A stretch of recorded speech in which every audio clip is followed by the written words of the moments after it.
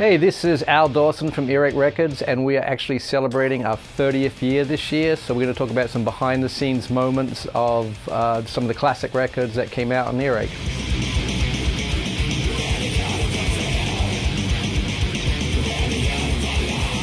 At the Gates, actually a, a, backstory to At the Gates. When I went down to our distributor in the UK in the early 90s was called Vital Distribution, and they distributed a lot of the, the big uh, independent labels. I went down to do a presentation for Carcass Heartwork there, and the there was a kid on reception, and his name was Dan. And I was told by one of my people that you got to meet Dan. Dan's a metal fan you know, he's not really a receptionist, but he took the job as a receptionist because he knew he could network and, and get a foot in the door in the industry. You know, like you see it when you meet people like this guy's going to do something or whatever. As it happens, uh, Hammy, who's the owner of Peaceville Records, he saw the same thing that I saw in Dan, and he's like, "You need to come work with me. You're going to be my publicist." And he's like, "I don't even know what a publicist is. It doesn't matter. I'll train you." So Dan moved up to Driffield in, in Yorkshire, a couple of hours north of Nottingham and he got trained to be the publicist for, for Peaceville Records. And me and him had stayed in touch the whole time. I mean, this is again before email, so we were writing letters and sending each other packages, whatever. We'd stayed in touch all this time, and I believe our publicist at the time had been there, say, four years or something like that. And he decided to leave. At that time, I think Hammy had sold Peaceville to Music for Nations Records. So, as it happened, perfect timing.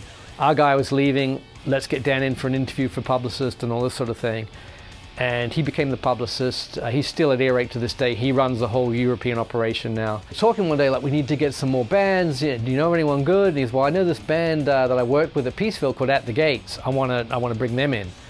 And we're like, oh yeah, At the Gates, sure. Like he'd sent me a couple of their earlier records and all that. And their, their deal with uh, Peaceville was done. So we signed the band. I'm not even sure it was that much of a big deal. It wasn't like a huge AAA priority signing sort of thing. And perhaps they were recording around the same time as Napalm Death, so naturally our focus is more on Napalm Death than these guys. But we knew they had something special. Like they, you know, it was a, a, big record for them. Perhaps their budgets were three times what they were on Peaceville or whatever, and you know they put a lot of effort into it, as you could tell. But I think at the time, people like this is a great record, but no one thought it was like the, you know, I mean, really, it's what you call these days a genre-defining record. You know what I'm saying? Them and In Flames and, and all that sort of thing, they brought that whole melodic death metal style of music to the forefront. And the band came out, we made videos for them, Blind by Fear, what have you. Um, we put them out and we basically put them on every tour we could. So they really worked.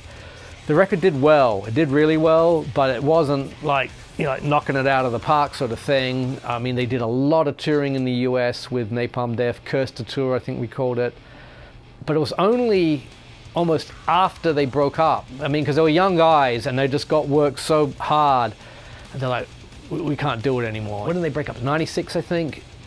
You say maybe 98, 99, 2000 to 2001. There was a whole new set of kids there who were discovering the band. And we, I mean, okay, we did a couple of reissues.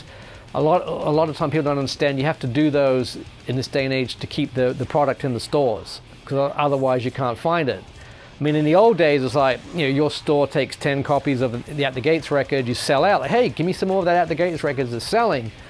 These days, stores only have a small amount of space, so like, we got to have the new releases in now. And we, if someone comes in asking for it, we'll order the record.